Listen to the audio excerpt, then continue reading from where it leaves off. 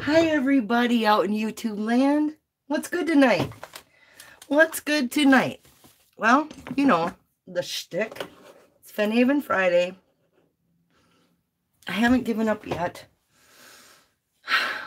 And every week, I swear.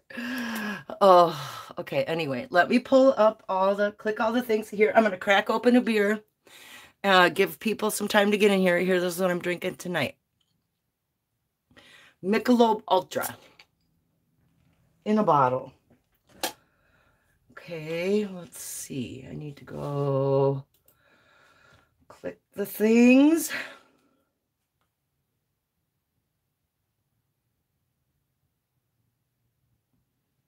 Come on. Um, hi, Chase and Indy. How's it going? Good to see ya. Okay, keep hovering to play. Here comes my stream. Uh, you might hear me. Nope, I got the volume off. Uh,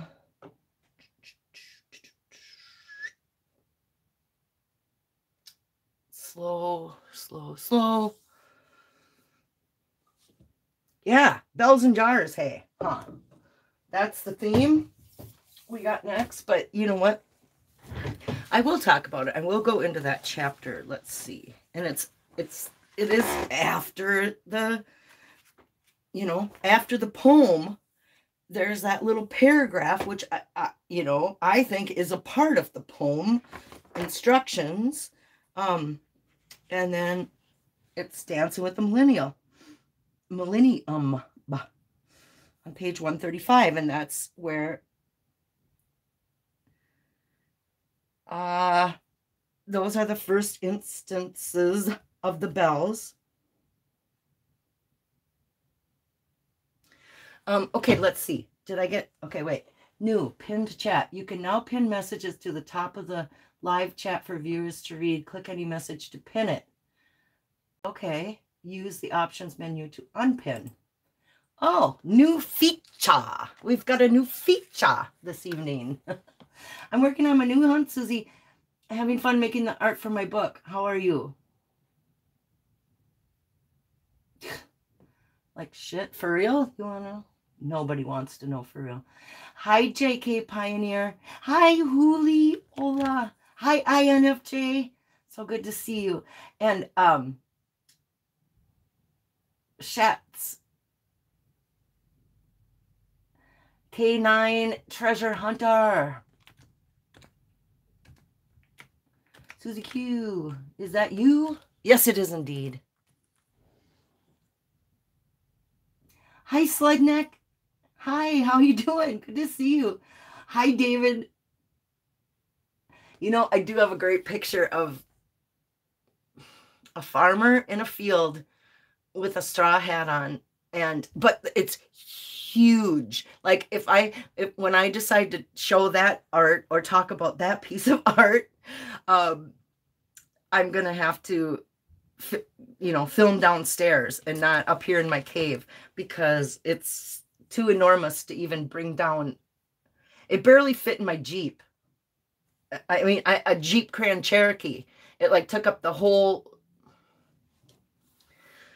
Anyway, it's huge. Hi, Trusted Living. Good to see ya. Hi, Lilith Stone. Happy birthday. Whose birthday? David? Old enough to know better. Young enough to do it. Um, who else is in here? Let's see. Okay, Larry. Cutie patootie. um. Okay, yeah. Bells and jars seem to be the. I should have looked. Well, never mind. Doesn't matter. But okay, so um, so Ben was on earlier talking about the difference between the mentions of the bells and the jars or something like that that some caveat but i you know what to me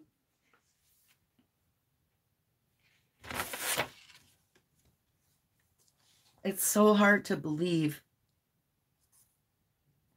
that anyone somebody comes up with the jar oh my god. That's even it's see at least there were clues to where the treasure was right?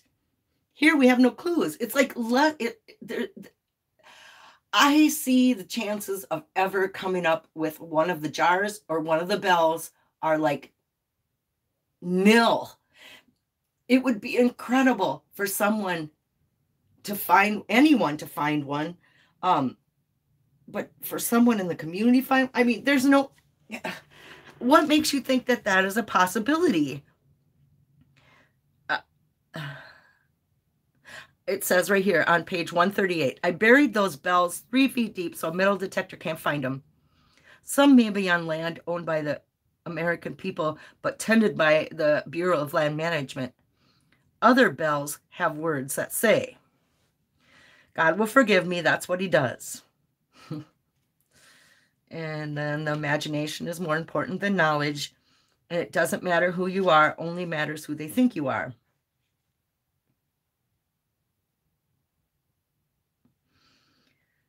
But there are others, or wait, there are others, but these illustrate my point, if not my logic. See, now here to me, and okay, I'm just going to read this whole little paragraph from page 138, Dance of Millennium. Millennium, yeah, here we go. I'm going to show my scribbles. Um, because this is right where he says, but there are um there are others, but these illustrate my point, if not my logic. Hopefully, no one will happen upon a bell for many years. Around 1000 would be perfect. The Rosetta Stone was undiscovered for 2,000 years. And don't you know the guy who carved it is who carved it is proud. Um see now I took that um to illustrate his point. He put the chase Rosetta Stone on a bell. And so like these those three phrases um are are illustrating his point, which is our Rosetta Stone. So how how you know I tried to and then there's a secret technique. You know, on the next page he talks about a secret technique. Um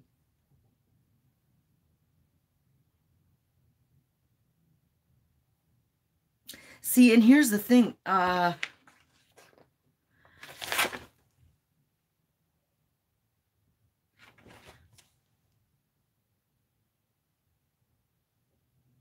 uh, so on, okay, so on the bell, on the bell, he has imagination is more important than knowledge, right? And he says that.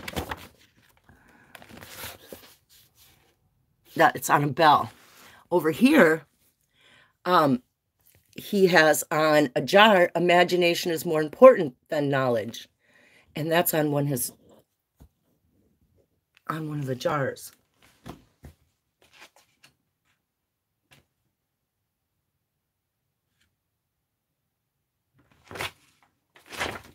That's and what if no one discovers my art? Will my time have been wasted? I guess the reward is have been in doing it. The rewards have been in doing it. And the enjoyment that comes with dreaming about what might happen someday, no matter. It was more fun to run the risk of being foolish than to watch Dancing with the Stars. Hi,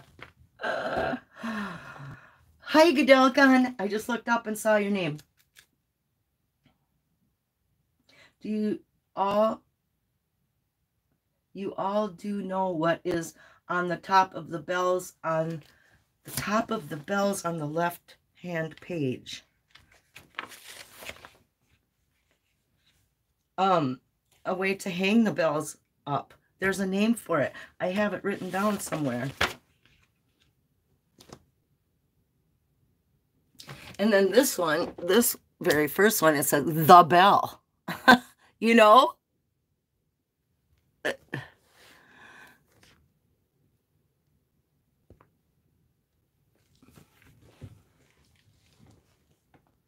Yeah, there's a name for them that that thing, that bell thing, that cage, or whatever you want to call it, right, Delcom? They are pouring tubes. They're pouring tubes. Oh, okay.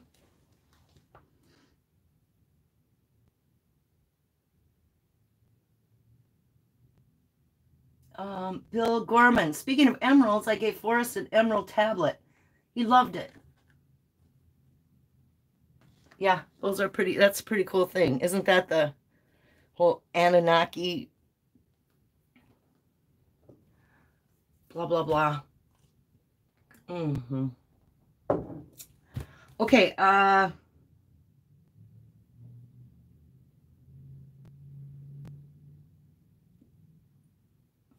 Okay, where was I? What was I doing? You guys want to talk about this art before I go back into bells?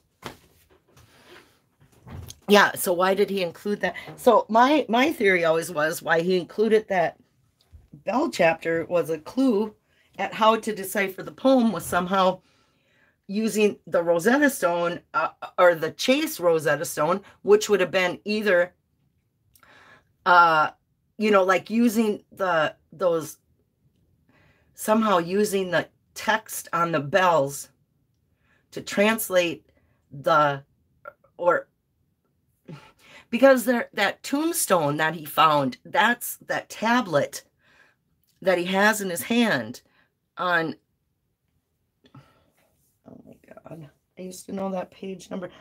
It's not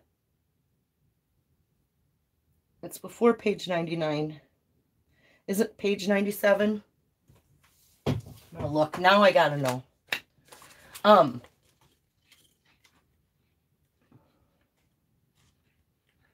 see i can't hold a thought in my head nope it's not 97 it's before that. Oh, it's 95. I was one whole page off. And this is what I'm talking about. So the Rosetta Stone was basically a tablet.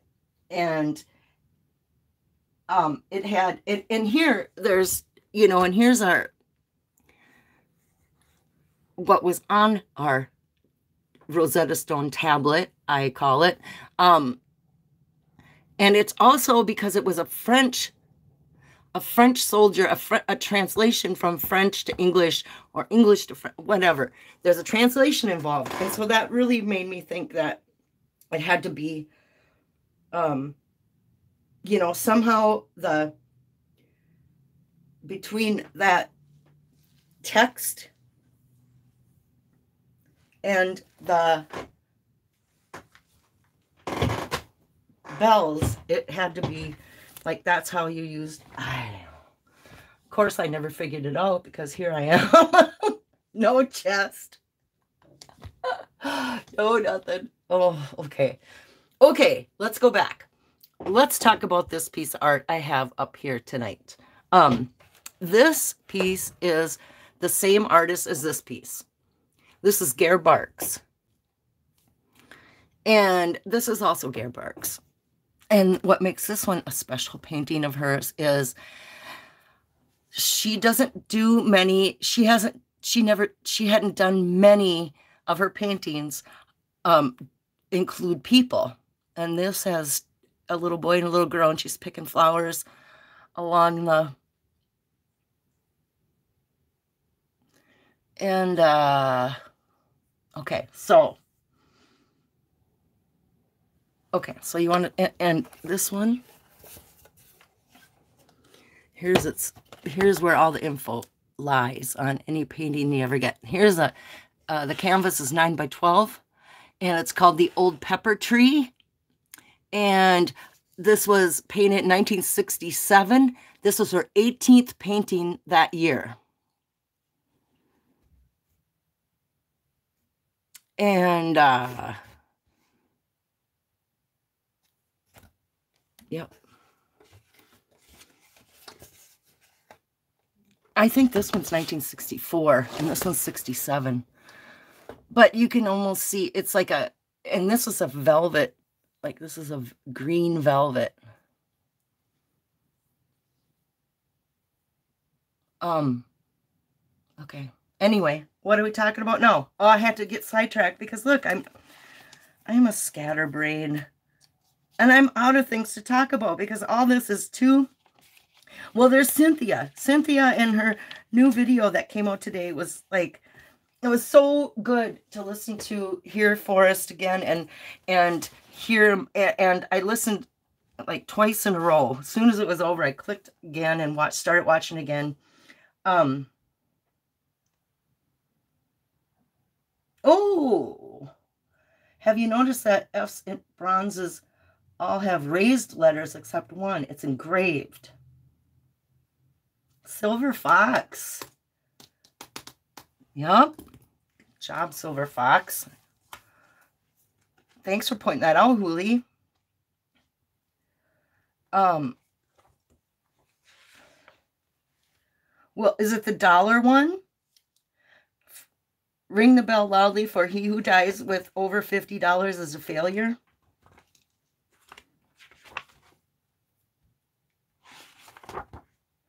And he spelled dollars wrong. D O L L E R S.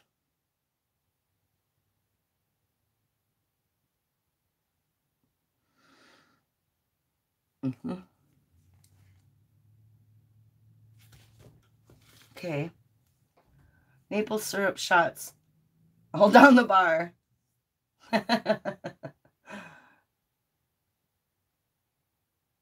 Is the chase slowing down, guys? Its chase is over. the only thing that slowed down uh, is any sort of uh, real information.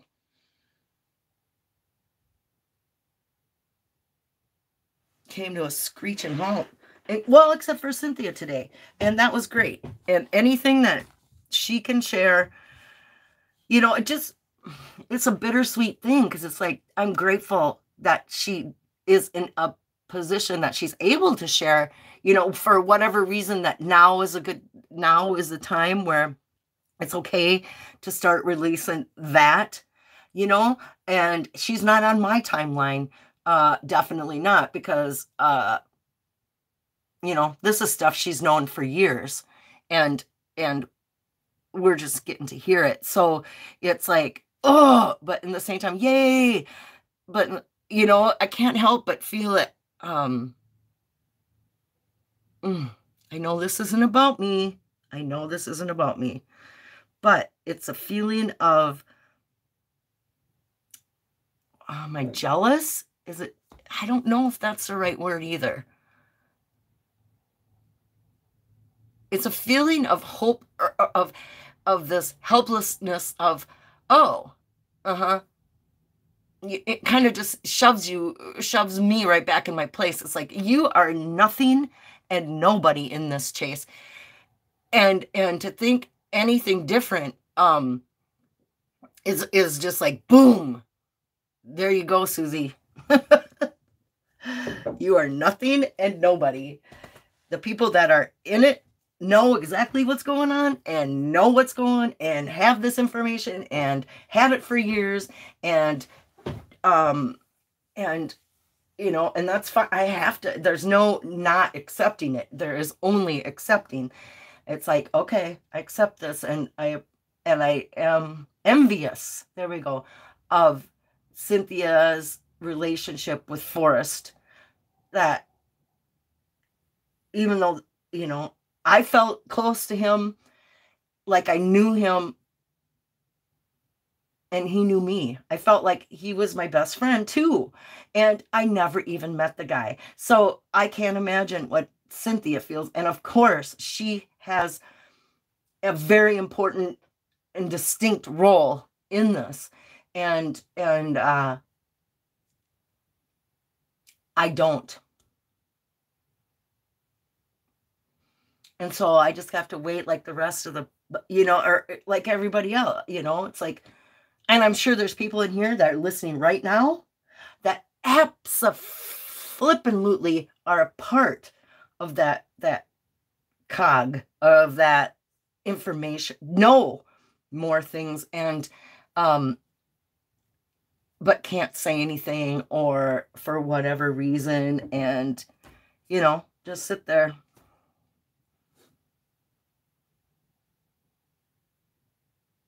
Forrest is gone. All we have left is each other. I'm with you. Peace, Alan. That's right.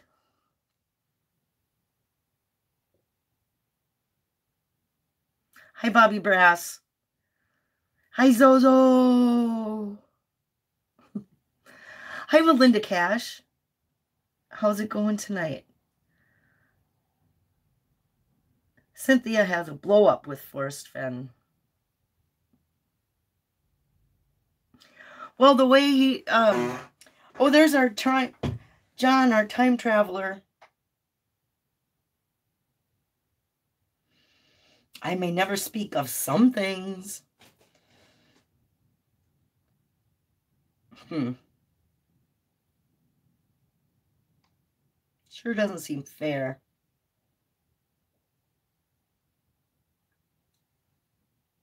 But there is no fair. There is no fair in love and war and treasure hunting. Isn't that how the saying goes?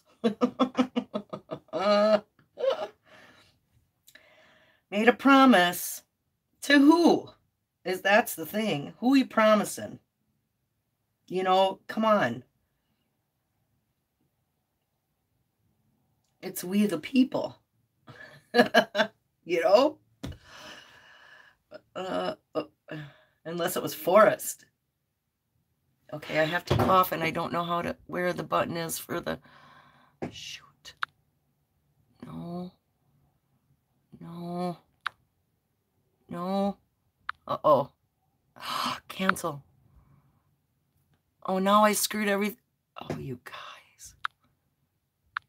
There it is.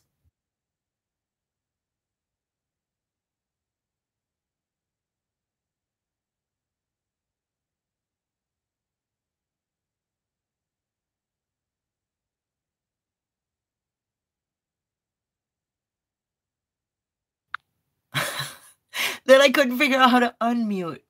That's how that went. Here I am. I'm back. I'm back. I think I'll make some beef burritos. A beef burrito sounds excellent, Bill Gorman.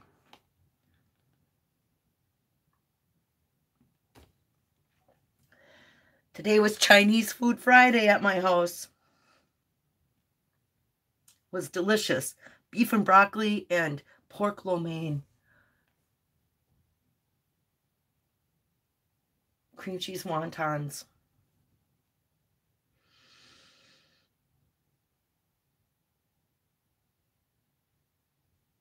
Mm-hmm. Who farted? Is who farted in here? uh,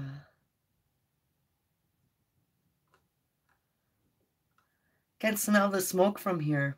Uh-oh, because from forest fires and stuff? Bobby Brass? What state are you in? New Mexico. I mean, like Toby and Shelly, they had a show on Saturday. Seems that seems like so far away, like I can't remember what they talked about. But I do remember Toby telling Shelly that the like the forest fires were five miles away from where they where he lives. It's terrible. But you know what? Is like, oh yeah, yeah. Bill, I saw your dust storm video or part of it I watched. And where you were showing that the mountains and that you couldn't even see them and it looked like rain, but it's not rain, it was dust. Um it's the same here in Minnesota where I am.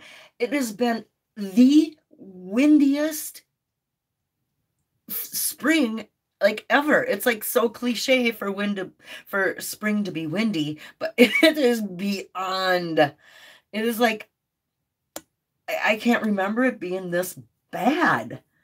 Um for so many days, you know, it, not just like it yeah, it does get really bad. Yeah, yeah, whatever for a day or two, but it's been like consistently ridiculous the wind and I thought we had a tornado the other day, but it was straight line winds. It was not even, it didn't even count as a tornado.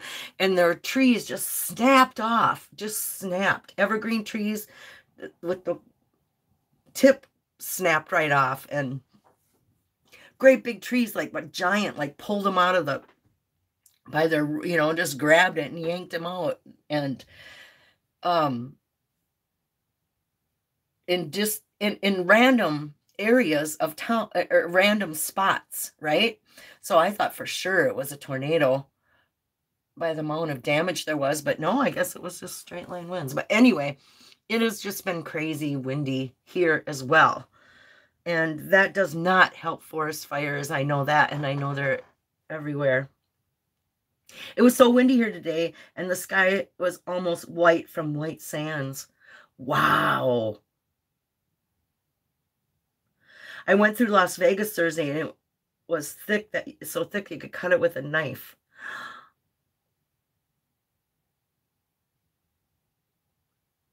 Bill Gorman, is it true? Hi, back east. Is it true that you were told you were not the solver by Carl Sumners while in New Mexico? Answer is no, he did not tell me that.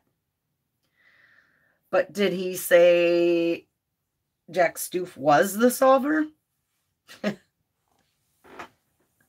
or or not. You know what? And in the the finder, um, whether he solved it or not. Well, you know what? There's another thing to talk about. Did he find the finder versus the solver? Um, and but but Forrest is the one who told us, and it's in the court documents, if I'm not mistaken did not Forrest in a court document say Jack Stuef followed the clues in his poem and went to his treasure. The actual Forrest Fenn had said, has said, um, either it was an article on Dale's, um, you know, when he announced the find on Dale's, and it was either that or it was in a court document or even both. It might have even been both places where he flat out said Jack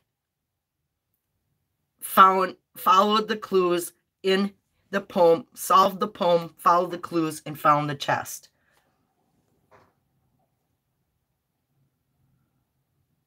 Bobby, stop. Don't drink that martini. That jar has been open for five years.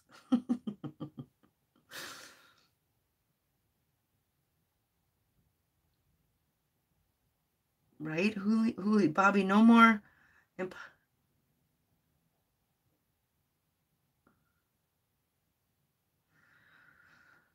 Um, I don't know what imp- that word is. Did you listen to that, um, Bobby? That conversations video. Someone created a spoof account on Melinda Cash's account. Really? That's oh, imposter. Impostering. Okay. What do you think there would have been enough letters where I could have caught on. uh, I followed a trail of bottle caps and string. Very interesting.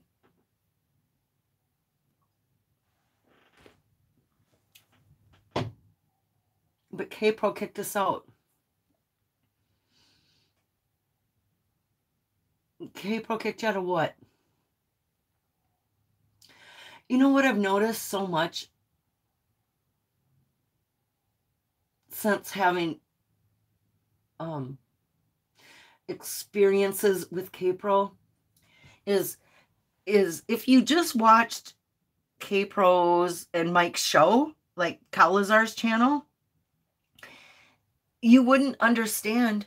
You wouldn't get the full picture of her. You wouldn't understand why people don't like her because she doesn't say boo about boo. She doesn't say anything bad while she's live on show with Mike. She, you know, the worst thing she'll say is, oh, yeah, turds, you know, she doesn't, where she comes after people and what, where she turns that corner into is when she is a keyboard warrior.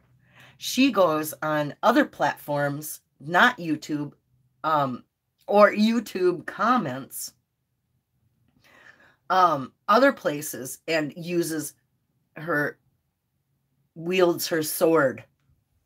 Let's put it that way. And so it, you know, it's like, what? You don't get it. You're like, I didn't, I didn't understand for because I don't go on Thor, and especially people who are, I think, who've been on Thor, and you know, like they've known that for a long time. It it just had to happen to me um, to understand how how she works, and and it, not only that, you like she'll you know, say mean things and then uh, delete. or I don't know, seems like it goes away then. So if you don't read what she writes, there's no harm, no foul, you know? Like if I don't I don't go looking at Thor to hear, you know, or don't go on Facebook groups or Discord or any of it um i think that's where things in in yeah why am i talking about her because oh yeah their show monday um well yeah it was just an observation because she's like no i'm taking the high road or i'm you know the way she's like no i don't go there. I'm not going there. You know i don't do that. What but does mike even know any like any of the stuff that she really you know does and says?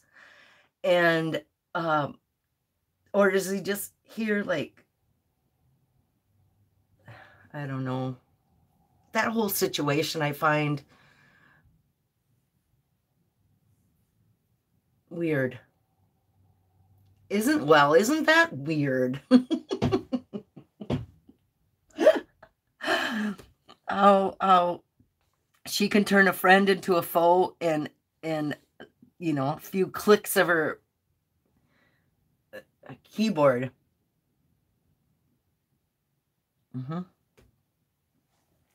Which is fine because she's still um it doesn't it it it really doesn't matter uh what she does to any of us or says because she's still the one that seems to be the gatekeeper to to the information and as far as you know because she's cynthia you know she had to create a distance between her and cynthia. So they picked a fight and then she did that same thing with candy. Then she did that same thing with me. Then she did that same thing with ben. Then she did that same thing with uh, all of them you know whoever. She needs to create these distance this distance and uh, it's like why? It doesn't seem I don't know. It seems very fabricated. A lot of this, these reactions and these little side ventures. I don't know how else to put it. Oh. Sludneck, you on that list too? oh. But I was going to, God, I could. There was a particularly disturbing video that was, it was me. It was a live show where her and Adam, Adam Foddy, they just joined me, right? Uh, you know, and it was just, we were just having a good time. Joined me on a live show. It was late. We all were drinking, whatever, having a good old time. But all of a sudden, or, or I, I don't know. I can go. I set it on private. It's on private. You can't watch that video now. because after it happened, I was so horrified that I did set it on private. But at this point, I probably could turn it back to public um, and let, you know, just the way she was questioning me and and talking to me it was like listening to it now it's like wow really this is a doctor? This person has their doctorate? And you know she was trying to lead me into saying that i was prejudiced against people from india. And or uh, she was trying to say you know like the chest is getting sold to somebody in India. That's who bought up um um bought up his other art. And so you know and they're super wealthy and they're gonna they're gonna just buy the chest and we'll never see it. And you know it was like this it was like this i'm like no that's not gonna happen. That's doesn't and like why not? What's wrong with people from india? You know it's like no. Oh god should i just play it? Because no, why why am I rehashing that? Just because it was so odd the way I was treated by her during that segment. Um she was trying to confuse me or frustrate me or do so, like some like why? What was that? And maybe if I shared it all with you guys again and had you listen, maybe you can help me sort out what in the hell was that? Um, and my whole point of the thing, you know, she was trying to say that I was prejudiced against people from other countries. And my whole point was, I don't want the chest to leave.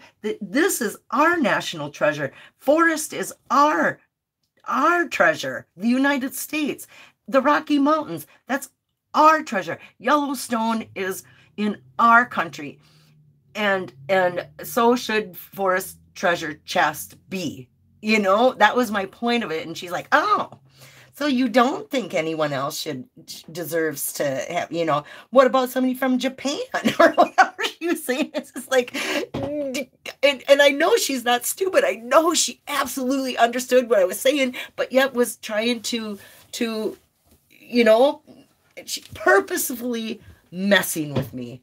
And there's no other way to put that um so I, I it's a hard look back when when seeing how far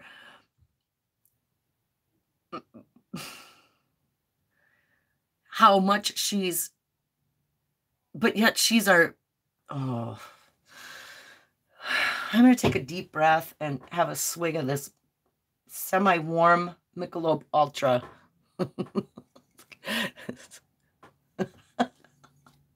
Hi, Vertigo. Here he goes. Whoa, whoa.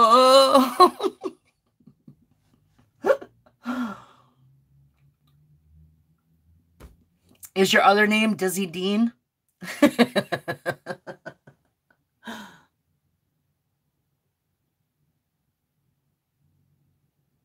um, it's more complex than that times 10,000.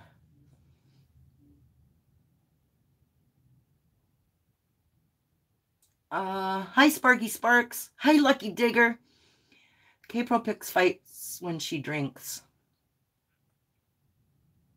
Is it as simple as that? Is it really as simple as that? Hi, Carrie Galloway. Hi, Davy.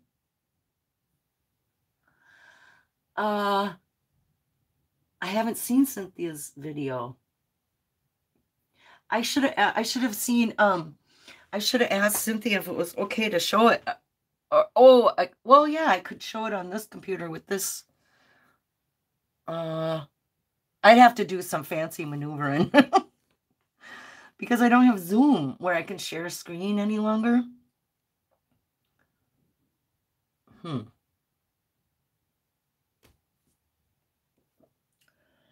Anyway, let's not talk about that icky stuff. Let's talk about the good stuff. Um, Cynthia's video.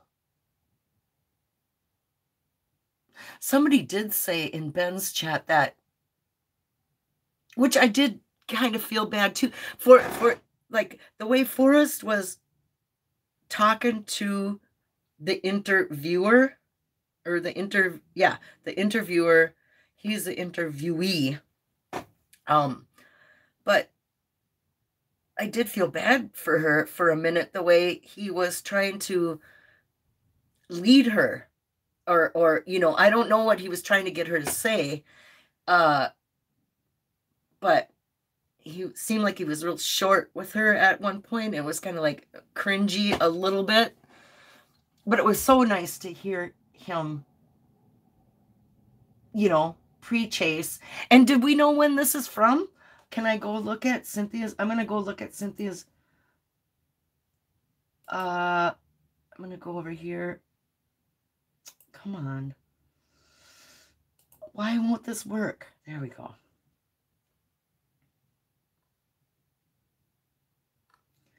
Does she say?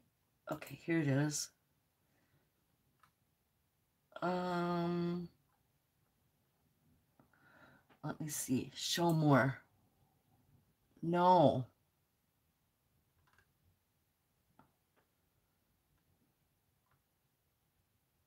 So do we, do we know when this was recorded?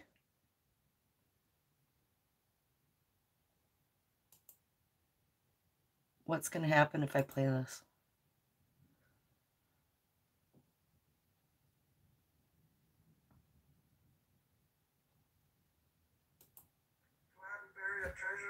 stuff. I mean, it's, it's crazy. Uh, but yet I did that. This is part three in conversations with Forrest and Cynthia from the 2016 New York Times interview. For video background, I'm using pieces of my eight consecutive days in West Yellowstone and the snowy Yellowstone National Park. Yep, there she said it. That's what we got. Whoops. It's, it's crazy. He said buried. And I did that. This is part three. Okay, there. Oh, keep going. Conversations with Forrest and Cynthia from the 2016 New York Times interview. 2016 New York Times interview. Okay. Thank you much, Cynthia. So 2016. Why didn't we get to hear all this? Because was it just irrelevant because the article um okay now i need to go find my own video again. Channel um you know was it that she uh-oh i got i forgot to turn my volume off so things could go wrong right here. Just hang on a second Okay, good. I got it before it came up. Um Okay, so what were we talking? Okay, so in 2016 is when that happened. She was present at that interview, I'm assuming. And did she not uh film it herself as well? Or how did she get this video? I mean,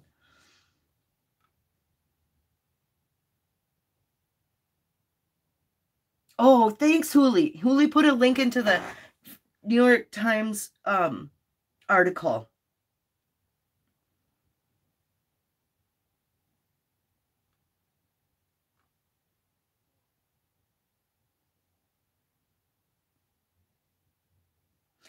Yeah, and Forrest more than once said buried, you know, and then he corrected himself. Well, I don't want to say it's buried, and because it really wasn't, it was kind of buried, but not really.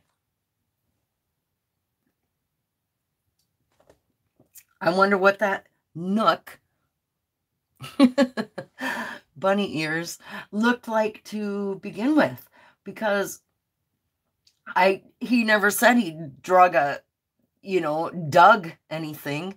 Like he it, it, that hole seems like it would have had to been there because um you know unless he'd been working on that spot for a long time and previously bought a shovel and made a made it, you know, five inches deep exactly and you know or did he just really shove it in a spot that was and then it got water or you know the spring runoff came and it, it evened it all out. So it you know it, it filled in the crevices around it and then the crap blew over it the the leaves and what is it? Detritus? Is that the word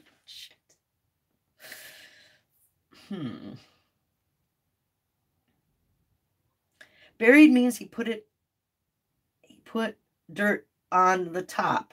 And i don't think he did that he did. Yeah good point lucky digger. He set it in a hole but he didn't bury it. Mm, you know i think that he did get away with saying it wasn't buried just because of that reason. And he just let nature do the rest just woof, whatever happens happens. And but the blaze is obviously going to be your marker uh but not really because for or for, jack said he found the chest looked up and saw the blaze. So what? What? What does that mean? Oh man. And why can't jack why doesn't jack show us the blaze or tell us what the blaze was as if it was a mark on a tree a mark on a rock a mark on a the horse on the page with you know finding lewis and clark. What what would be the harm in that? Um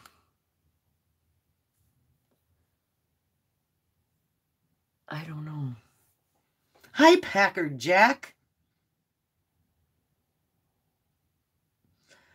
The Milwaukee Bucks just violated the Chicago Bulls in the playoffs 111 to 81. Woo woo. Got some money on that game? oh, it was so fun. Um my sister took me back down. We went back down to Iowa on what when was that? Was that Monday? It was Monday, day after Easter. Um, she had a day off work. She works ass off. Anyway, um, she took me down to Iowa to the casino that we got that where she bet on the Masters golf game on Scottie Scheffler for the win. and he won it was really fun. We got to go there um Monday and cash in the ticket for 280 bucks. She was like, I still don't believe it until until we go there and go to the people and cash it in. And lady's like, yep, it's $28. that was great. And so she gave me she gave me a hundred dollars and um to play to walk around the casino and play the slot machines and it was so much fun. And we ended up staying there like two hours a couple hours and um we both walked out with the hundred dollars uh, the hundred you know a hundred dollar i still had a hundred dollars in my purse when i left. After i played all those hours i went up and down and it was so much fun. And what a you know what? That's such a never Neverland. Uh, the casino is like a it's a good thing I don't live closer to a casino because it's such an escape from reality. It's like the time feels different, money feels different. Everything is just like a you know, like it's it's easy just to lose time and lose money. Um at a casino, but it's entertaining and thrilling and fun. And I, and I got to, you know, win this and that. And, you know, I don't know. You guys all know what I'm talking about. There's a bar there too. I could have had some beers and, you know, but I, I didn't. I, but anyway. Good times, good times. Yep. And she works hard. So when she wants to go to the casino, she can do whatever the hell she wants. you know? she always knows if she wants to bring me with, she's got to pay because I, I am the broke. I'm broke. And that's how it is. And she always takes care of me. And it's great. Me and my sister have fun. Usually laugh our ass off on the way there. Okay, you guys. What do we got here for time? 9.50. Okay, I'm going to crack this other beer. I brought one more up here. Okay, we're going to go back to the bells and jars. Uh, really? What, what? Okay, so I know you know what? I didn't see that. Uh, I, I missed the beginning of Ben's show. I came on, I, I didn't realize he was on till 45 minutes into his stream. And by that time, Alan was on. And so I don't know what he was talking about, but he was like, see, he he picked out something in the Cynthia Cynthia's video that she had just dropped that gave him a, a idea that uh, that the jars were were findable, and I don't know why. What what makes you think?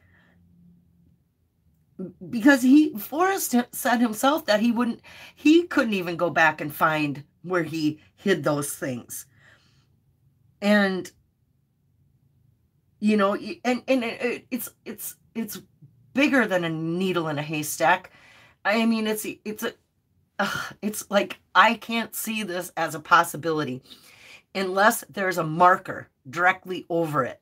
You know, like dig here, bell here.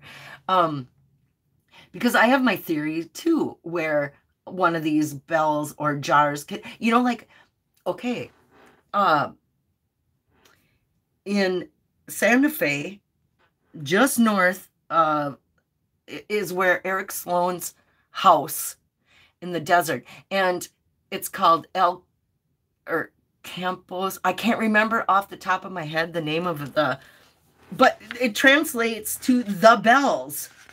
It the where where Eric Sloane lived.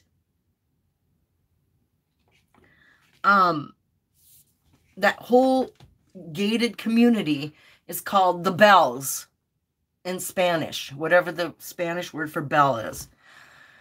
And so when you pull up to this gated community, um, you have to pass a bell tower. There's a bell tower right there while you drive to Eric Sloane's house in the desert.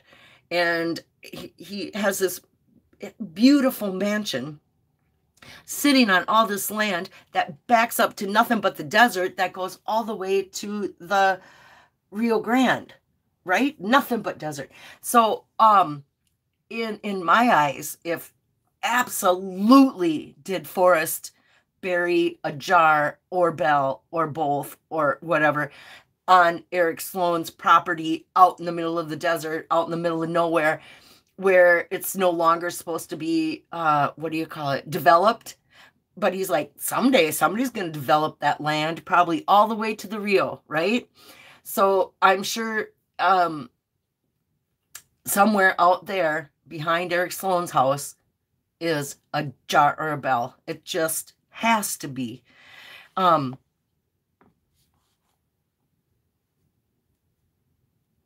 and in Taos somewhere. And and he owned the um the fashion uh no, wasn't didn't he buy the house that not fashion but, the other one um and eric sloane lived with them he lived in his chicken coop. He lived in his guest house. And it was those two artists and it was in the 1929 and 1930 and uh gaspard thank you Huli. thank you.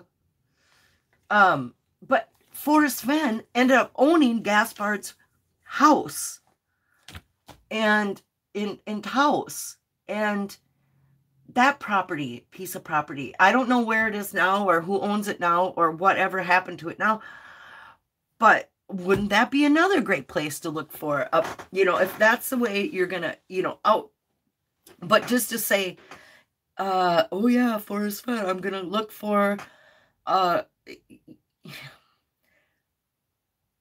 you know, uh, there's obvious other places like, like the the main entrance into Yellowstone, or or the Roosevelt Arch entrance, the north entrance, Gardiner.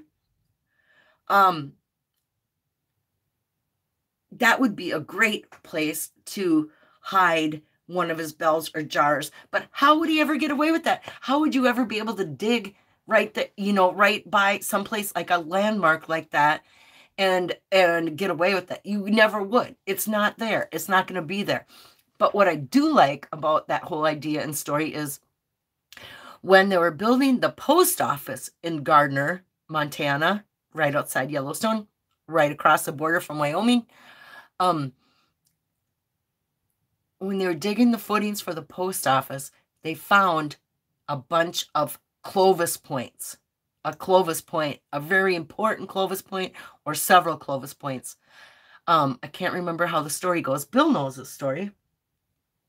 And um and and so when Forrest talked about you know when they're going to be digging some footings for a building they're going to come across my jars or my bell or whatever and a thousand years two thousand years from now um it it was really reminiscent of that story because i think he might that i wonder if that was a part of the Fenn cache the clovis cache that he had you, and you know the most important collection of clovis pieces in the united states was owned by Forrest Fenn.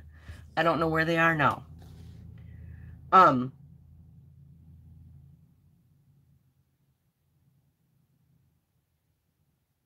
Doug, are the bells something unrelated to the jars or are the bells in the jars? Confused in Colorado. uh, well, they're two different things. Here are the jars. He made bells and jars. Here are, oh, oh there went Care Barks. Okay. And these are the bells. But he he created them at the same time. And he does treat them in this story. Um oh, excuse me uh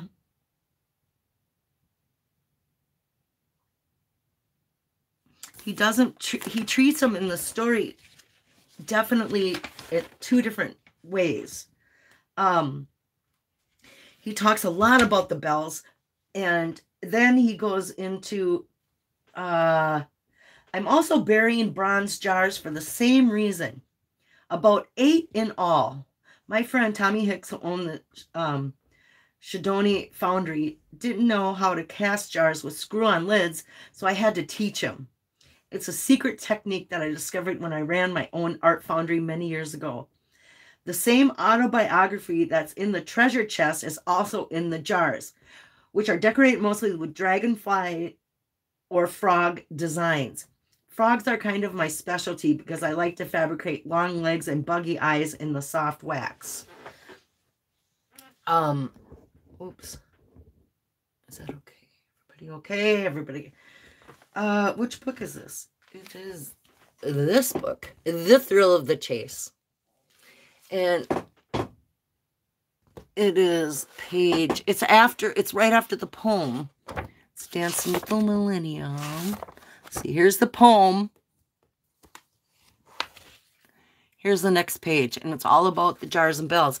And um, and then the sledgehammer bells, the sledgehammer bells, that got me because Thor carries a sledgehammer, right? And he, you know, praying to Thor and, um, but that's what got me to the ringing rocks in Butte, Montana, right outside of Butte, Montana. Um,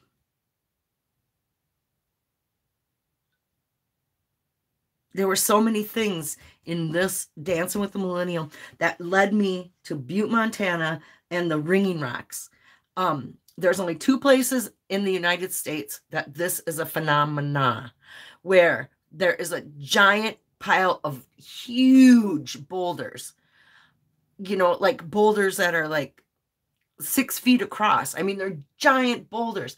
And and and the the pile of rocks is enormous and weird where it is. It's just like what happened here now.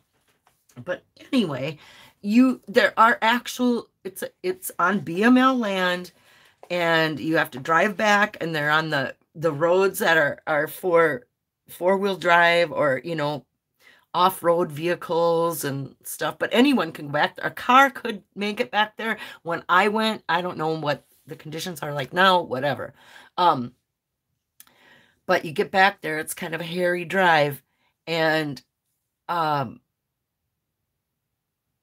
there's in the middle of the nowhere are these pile of rocks and there's actual a sign about them that explains it that you know for tens of thousands of years these rocks have been here blah blah and uh there are hammers that are hanging there and you can take one of the hammers down and hammer on the rock and it rings just like a bell people have taken the rocks away from the pile and they no longer have the property. They don't ring any longer. They only ring when they're all piled together.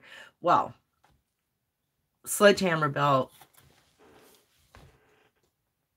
is those ringing rocks. But anyway, uh, what was I saying about that?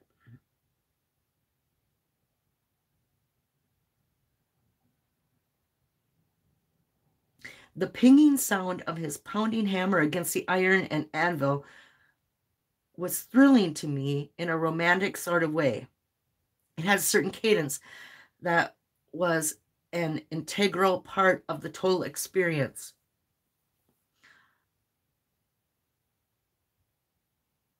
It's like, wow.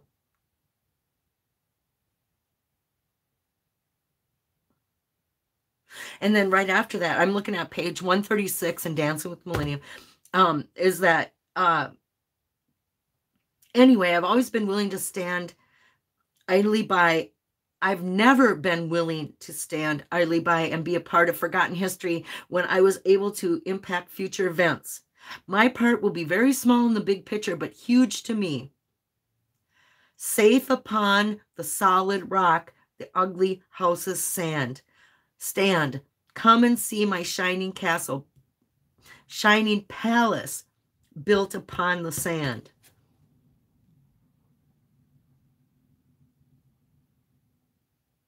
Hmm. You know, so it's just, I don't see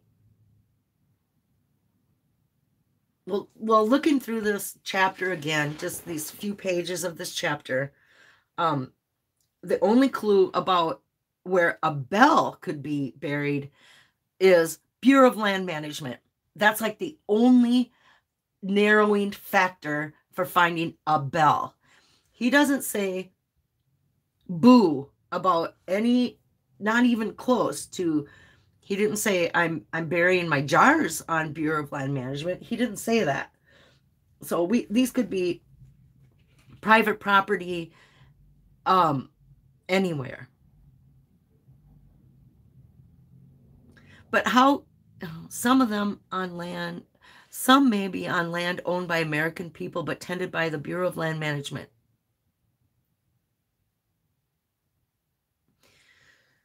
hmm the only thing about that is well everything changes because will the bureau of land management still own that land in a thousand years and two thousand years? Is that still going to be by the American people and nobody yet will have dug a footing and found it? Um, I don't know. But there's not a chance that I'm ever going to consider looking for a jar or a belt because it's not it's not meant i don't think they're meant to be found and i don't think it's possible. Two reasons right there. But by all means don't let me stop you or my opinion because by god wouldn't you be the belle of the ball if you did come up with one of those items?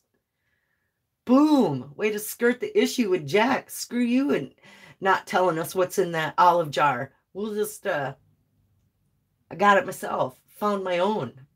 You know there's a certain thing but you know to actually put thought into like yeah i'm gonna put a grid down and get some ground penetrating radar and uh, start looking for metal.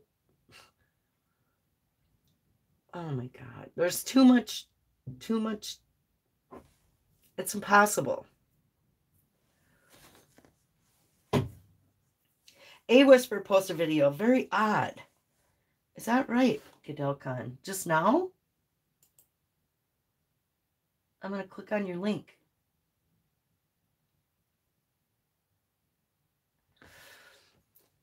Hmm. It's pretty slow.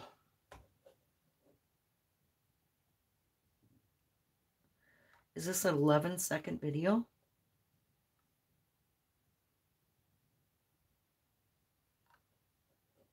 Hmm. Eight views. April 22nd. Yeah. Do I get notifications from her? Oh, I'm subscribed but don't have notifications turned on. Okay, I'm turning them on. It won't let me. Why not? Are oh, are these set for children?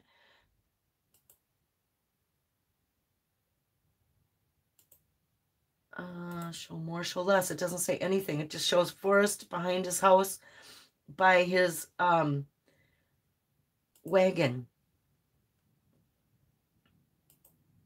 Okay, I'm going back to where I was.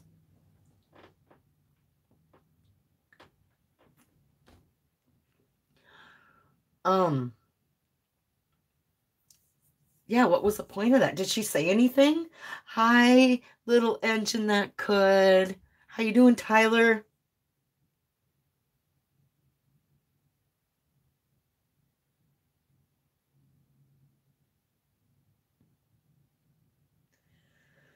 Um,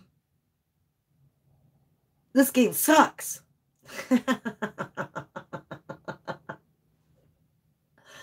Uh,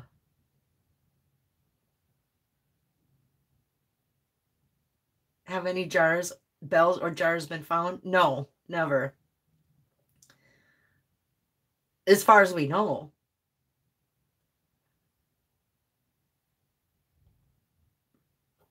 I say your chance of finding one is going to be the same whether you are a Forrest Fenn treasure hunter or not. And your odds are like zero. Kids need dreams and heroes. Yes, they do.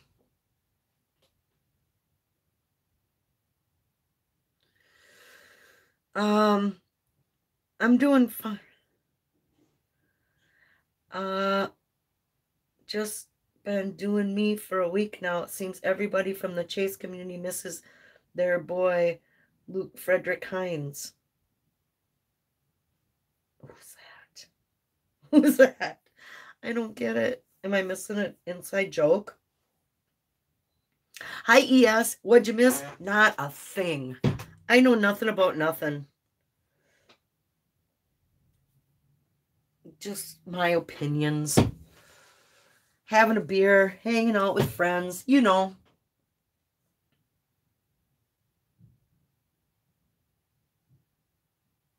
Ever want to go to a museum and be denied because you are poor?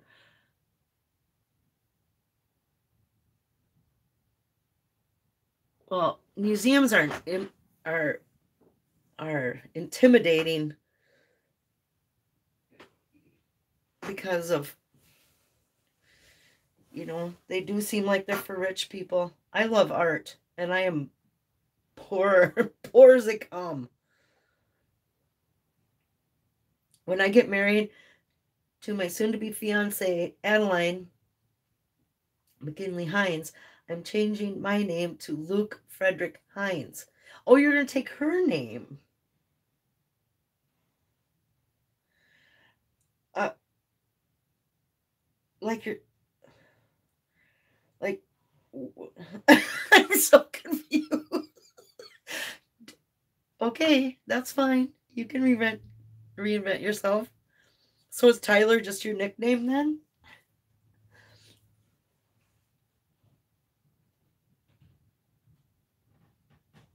Miss out all the time because I'm poor. Yes. I know what it's like daily.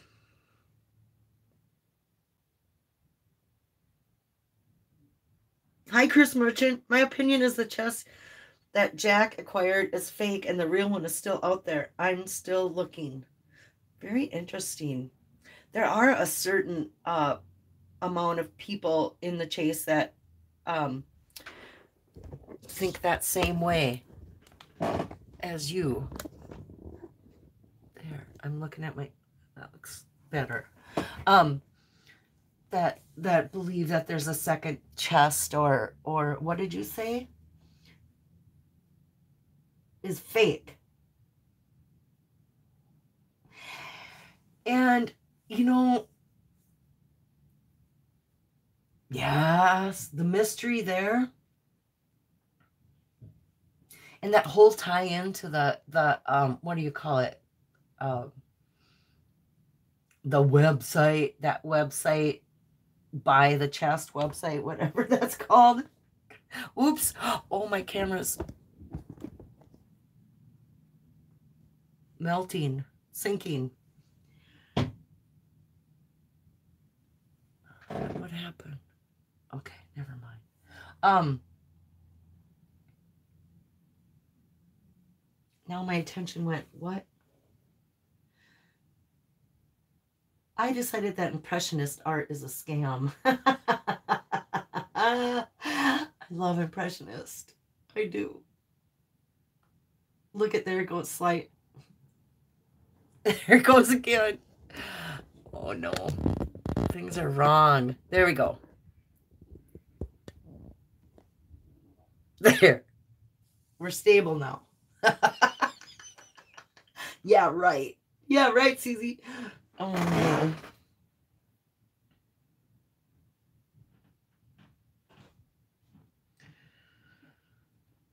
Uh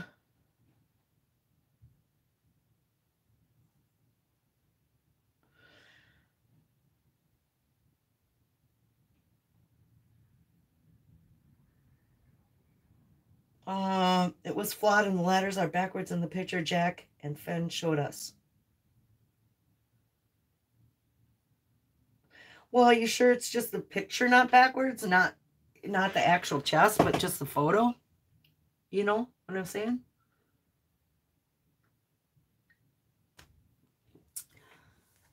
Hi, Kevin. Forrest was a great salesman. There's a great that, that's a really good point, Kevin. Because one of the takeaways from the Cynthia's video that she dropped today was he asked, What is the biggest industry in the world? And she's like, I don't know. Tell me. He goes, Well, it's probably all wrong, but I'm just guessing. You know, Forrest says, Advertising. Um, there's ads on everything. There's ads on your shoes. There's ad on your jacket. There's ad on there's ads everywhere you look. You can't escape it. It's you know, there's selling a brand. Um, and his whole obsession with that full page color and it's all about advertising you know how to succeed in in any game you do is advertise and get your information to the right people and there you have it you know um so uh what was your point yeah he's a great salesman don't be surprised if they're more than more to the chase than a chest So right. There obviously has to be, for God's sakes, please. no. Um, there's got to be more to this.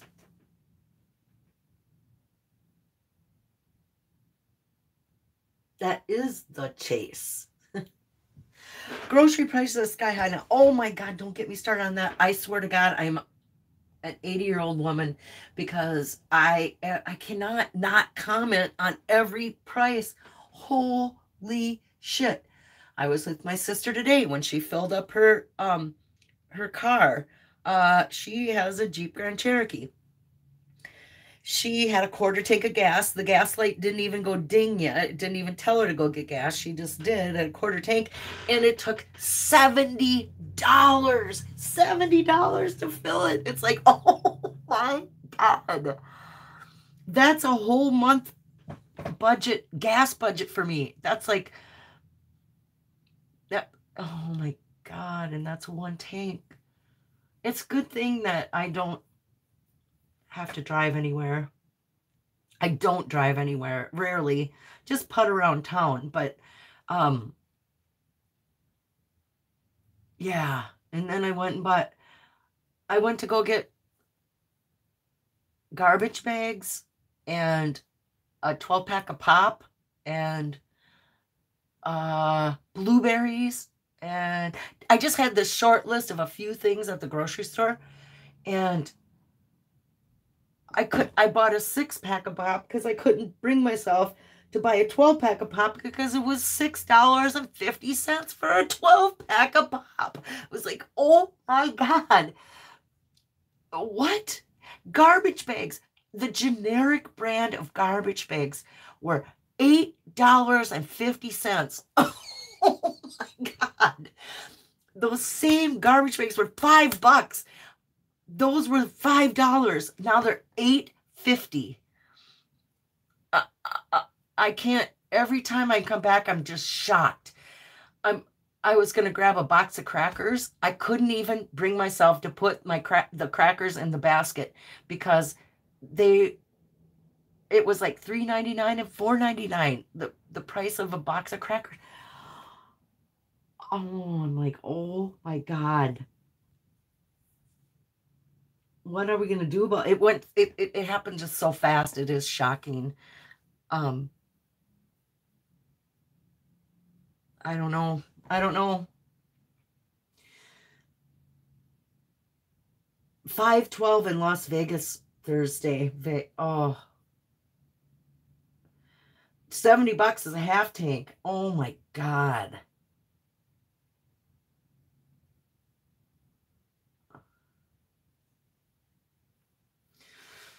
Yeah. 269 for a bottle of water at the fuel stations.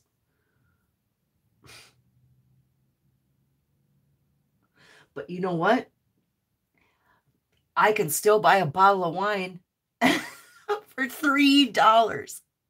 You can buy a whole bottle of wine for 3 bucks. And it's good wine from like Spain or Argentina. Can't remember, but it's good wine.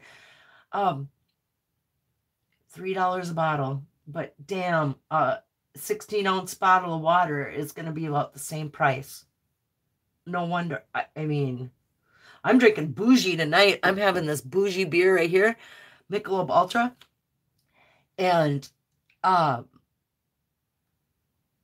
I felt rich because it was 16 $17 for a 12 pack. $17 for a 12 pack. I'm like okay i can have afford to have two beers a night for the next you know. Oh next six days i get two beers a night. That's not gonna work but i can pretend. I can bitch about you know necessities in life. Gas wine, food, and garbage bags. Don't get me on toilet paper. My God, just the one that can fit inside a gar- fit inside a grocery bag. just that big of one, $9.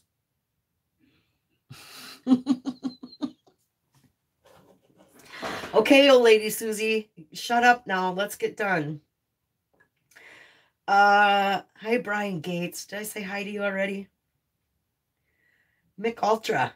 Yeah. Drink a monster mocha. Yeah. Arizona tea, 99 cents. Gotta take, you can't get a damn chicken. Oh my God, all the chickens are dying now too. And now eggs are 325 for the cheapest eggs at Aldi. Oh my God. well, it's almost spring. I'm going to need to plant my garden. Got to get the green beans in. As soon as it gets warm enough here, get some vegetables in so I don't get get the real tomatoes going. Some cucumber, couple zucchini.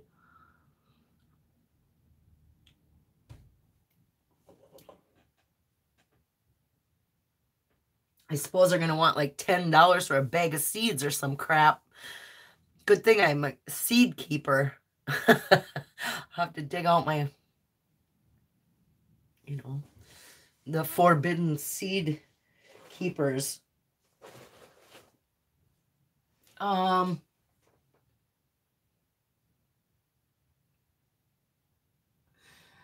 uh, Aldi is for Joe Mama.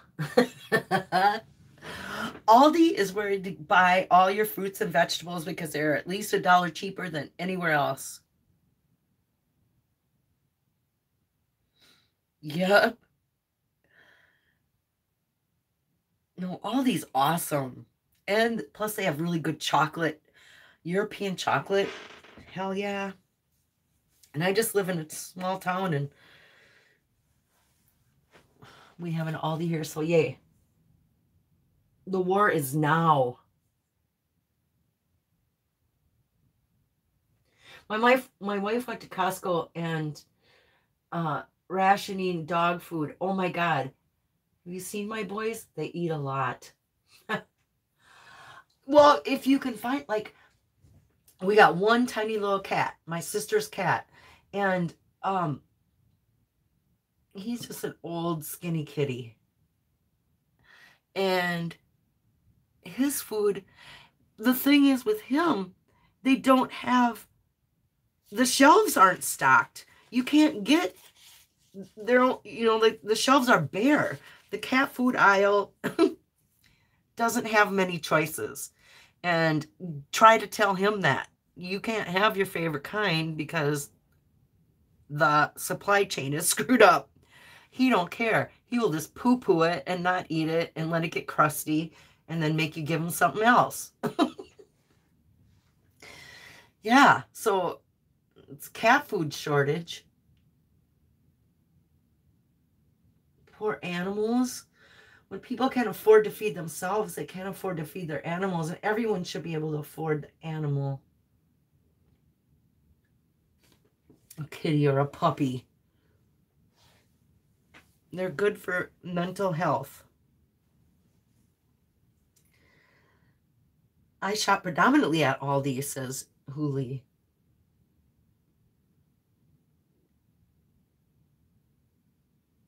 Uh, and I know, and Aldi, I wish, it, and I don't even get my wine at Aldi because we don't, in in Minnesota, the grocery stores can't sell wine and alcohol. They don't get to sell alcohol. They have to have a special permit and each town has only so many permits and it's like a big damn oh beer nazis. We i live in i live in minnesota where there's beer nazis. You can buy you can buy beer at a at a convenience store but it's 3-2 beer meaning it's not it, no matter what kind of beer you buy it's 3.2% alcohol so you or if you go to a real liquor store, um, then it will be whatever the real beer is. But they have to make special beer just to show up in the convenience store. I mean, it's so silly. Who made these rules? It's just, it's just really is painful. Hi, Bubba Gump. I see you jumped in. Um, weaponized autism. Weaponized autism. Don't know what that means. The thing I don't like about Aldi is the brands they have. I don't know them. I know, and, and you know what? It's a crapshoot, Kevin, because some things are really delicious, and you're like, oh my god, this is great. This is better. That I had no idea I even like this, right? And some things are funky. Like I don't like their tortillas. Their Mexican sec, their whole section is not uh my favorite. But they have other things that are just like you know? And they have fun frozen food. It's, you don't know what it's going to be. They have stuff that comes in like special or whatever. So that's always fun, like looking around, see what kind of weird new food that they have in for the week or whatever. Yeah. Hi, Galaxy. Would love to talk with you about some theories. I would love to hear your thoughts. Okay, Galaxy. That'd be great. When do you want to do that? Next Friday?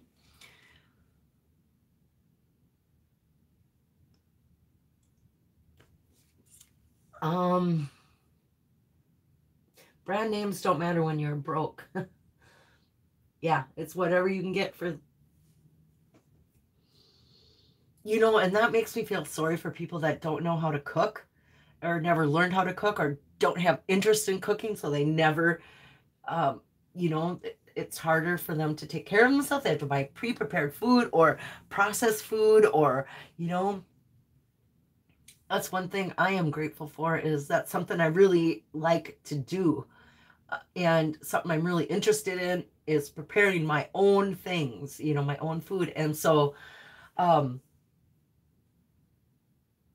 I think I get to eat better than a lot of people or a lot of younger people that aren't you know it's like what do they eat the poor kids you know and when i say kids i mean like the kids that are, are, are you know the 20 year old people now that that are just leaving and starting their own houses and and learning their you know it's like oh my god to be young in the current environment that we have now seems horrifying to me. I don't know, you know, it seems harder. Mung beans.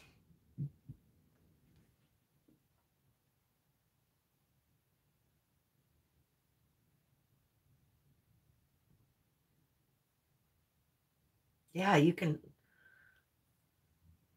Gourmand gourmet. Can you share a scenario? Sounds like a Marvel movie. Tractor Supply was awesome food. Tractor Supply has awesome food. Sourced and made in the USA, well priced. Interesting.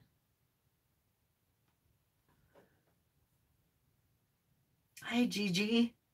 You okay? Where I didn't see. I'm out.